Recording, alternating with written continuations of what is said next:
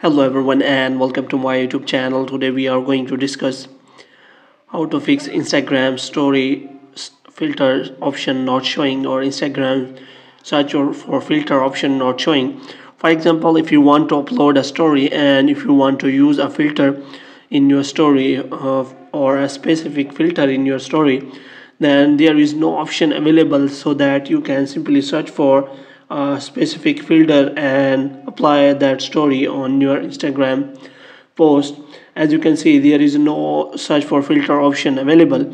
Now if you want to solve this problem what you can do for this what you have to do you have to simply watch this video completely.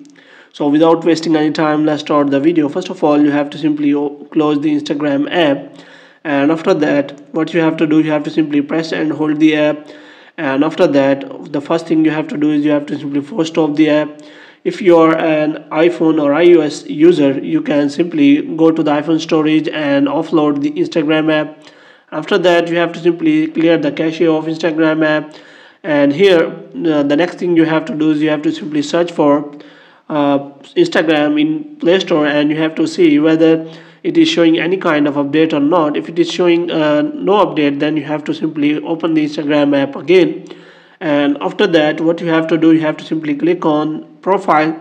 After that uh, click on three lines and you have to scroll it down until you find the option of help.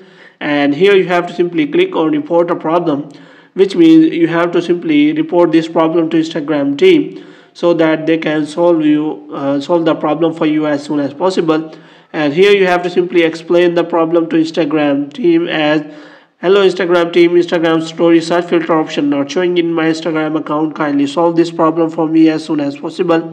Moreover you can also attach the screenshot of the problem. And after that you can simply click on send and your report will be submitted to instagram team. And within few days instagram will connect to you and solve the problem for you as soon as possible Hope you have liked this video. If you get more videos like these, you can subscribe our channel.